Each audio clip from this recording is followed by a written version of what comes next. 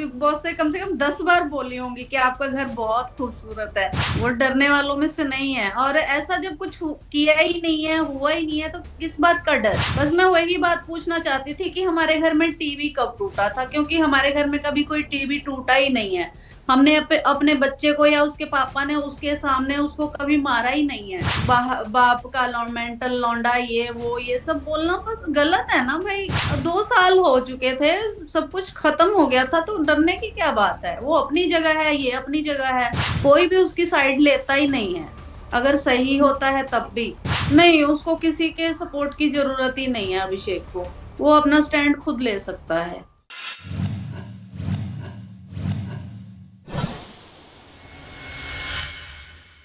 नमस्ते, aunty. Firstly welcome to telly and Bigg Boss के घर में जैसे ही आपकी एंट्री हुई, अभिषेक को आपने गले लगाया, उसके बाद घर का माहौल काफ़ी ज़्यादा चेंज हो गया। यू नो वीकेंड के बाद पर करण जौहर आए थे, उनको हक किया। आपका आशीर्वाद काफ़ी फल रहा है। क्या कहेंगी इस पर? एंड कितना अच्छा लगा आपको घर में जाकर? घर के अंदर जाके तो मेरे को बहुत ही अच्छा लगा। इतना खूबसूरत घर है ना। कि पूछो मत। मैं तो बिग बॉस से कम से कम दस बार बोली होंगी कि आपका घर बहुत खूबसूरत है। और बच्चे से तीन महीने बाद मिली हूँ तो आपको पता ही है कि एक माँ को कैसा लग रहा होगा। मतलब हम दोनों का ऐसे लग रहा था कि कुछ मतलब हट गया है, कुछ बोझ सा हट गया था हमारा। बहुत अच्छा लग रहा था तीन महीने बाद मिलके। हाँ ऑल्सो यू नो एक. जी।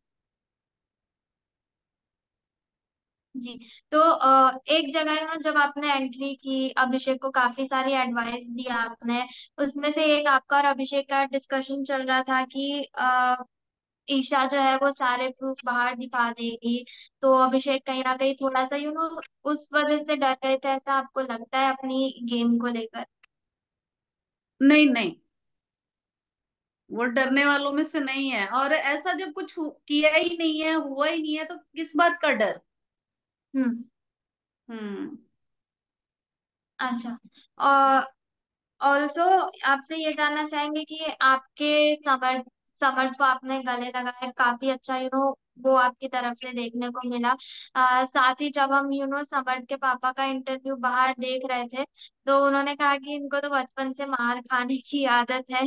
इस पर क्या कहेंगी क्या कहना है आपका? जब अब समर्थ से मिले तब। अब देखिए बच्चे बचपन में शरारती होते हैं तो पेरेंट्स एक दो थप्पड़ तो लगा ही देते हैं किसी गलती पे है ना? तो उनका बोलना भी वो सही था।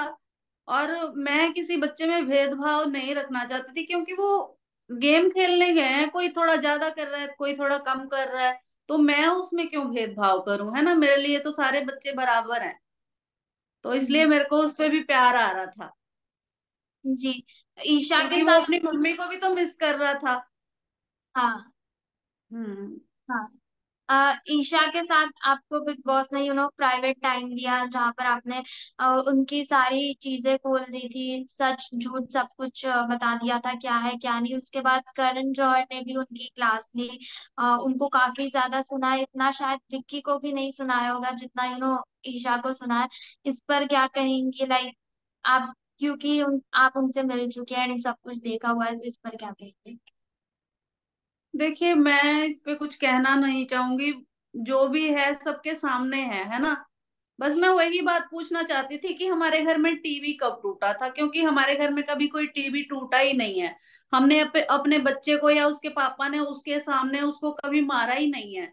तो बस मैं हम्म। यही जानना चाहती थी बाहर की बातें क्या की इन दोनों ने क्या किया क्या नहीं किया? इसके बारे में मेरे को पता नहीं है तो उस बारे में मैं बात ही नहीं करना मैं तो अपने घर की बात भी कब टीवी टूटा? बस मेरे को यही पूछना था जो मैं क्लियर हो गया था। बस।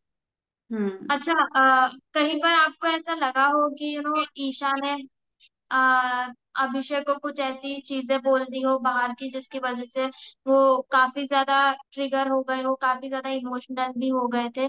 इस पर क्या कहेंगे क्योंकि उनको बार बार कई सारी चीज़ें हाईलाइट की गई है पॉइंट आउट की गई है।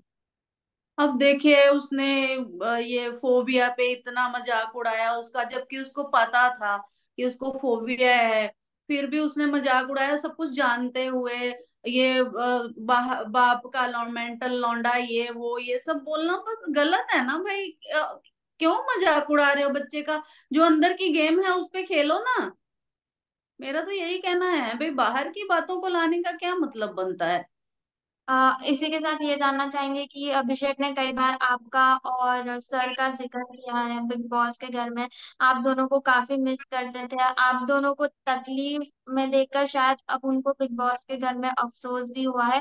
वो सारे मोमेंट्स पर क्या कहेंगी? अब क्या लगता है कितना बदलाव हुआ है अभिषेक में? ओवरऑल कितना ग्रो किया है? अभिषेक ना बहुत ज़्यादा अपने माँ बाप से बहुत ज़्यादा अटैच्ड है, मेरे से खासकर। वो हम्म। बहुत प्यार करता है और वो हमारा बच्चा है तो ऑब्वियसली हम तो उससे ज़्यादा करते हैं उसको प्यार है ना?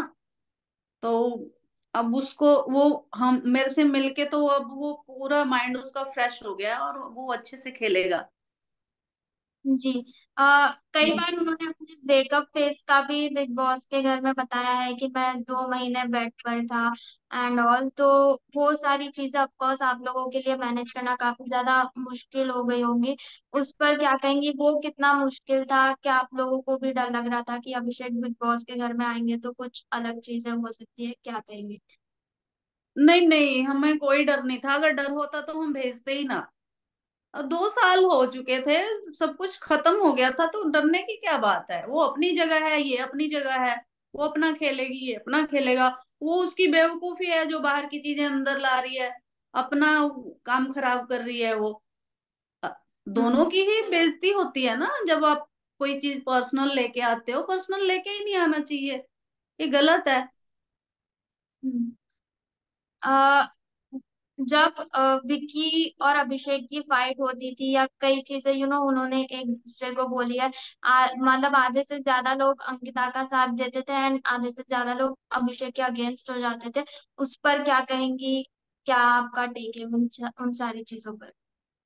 मैं क्या बोल इस पे तो मैं क्या ही बोलूँ अब वो लोग इतने मैच्योर इतने समझदार हैं फिर भी ये सब कर रहे हैं तो क्या ही कह सकते हैं।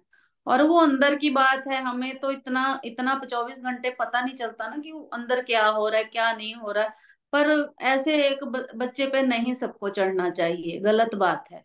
कोई भी उसकी साइड लेता ही नहीं है अगर सही होता है तब भी। अब हम्म। परसों परसों का ही एपिसोड आपने देखा होगा कि पूरा घर चढ़ा हुआ था उस पे। हम्म। हम्म। अ, मुनावर कहते कि वो अभिषेक के दोस्त है लेकिन कई बार ऐसा देखा गया है कि वो भी उनको सपोर्ट नहीं करते या उनका साथ नहीं देते और बाद में आकर बोलते कि मैं इसलिए नहीं बोल रहा था क्योंकि तू अपने लिए स्टैंड ले सकता है। तो आपको लगता है जब अभिषेक लड़ रहे होते या इतने सारे लोग उन पर चढ़ जाते इंक्लूडिंग मुनावर तब अभिषेक को अ, मतलब मुनावर का सपोर्ट मुनावर को अभिषेक का सपोर्ट करना चाहिए जिस तरह से अभिषेक ने मुनावर को सपोर्ट किया है। नहीं उसको किसी के सपोर्ट की ज़रूरत ही नहीं है अभिषेक को। वो अपना स्टैंड खुद ले सकता है। मैं नहीं मानती कि मतलब मुनव्वर को उसकी साइड लेनी चाहिए। वो अकेला ही काफ़ी है।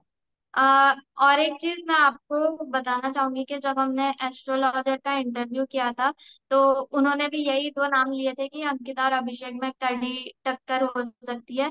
तो आप लोगों की क्या तैयारियाँ चल रही उधर? क्या कहना चाहेंगे? अरे हम लोग क्या तैयारियाँ करेंगे? पूरा जनता का सपोर्ट है, उसके साथ आप लोगों का सपोर्ट है है ना?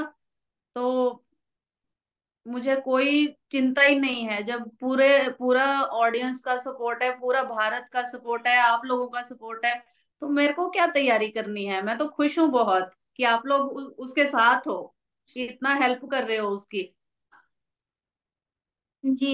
अ, अभिषेक के बारे में और एक चीज़ ये आपसे पूछना चाहेंगे कि वो घर में अक्सर बोलते रहते हैं कि मुझे शादी करनी है मैं शादी कर लूँगा उस बारे में क्या कहेंगे? अ, अरे क्या लगता वो ऐसे ही मज़ाक करता रहता है हमेशा। या तो घर पे भी होता है तब भी उस अपनी माँ से भी फ्लर्ट कर लेता है वो। ऐसा ही है वो। ठीक है। Thank you so much. आपसे बात करके अच्छा लगा। एंड ऑल द बेस्ट को ट्रॉफी लेकर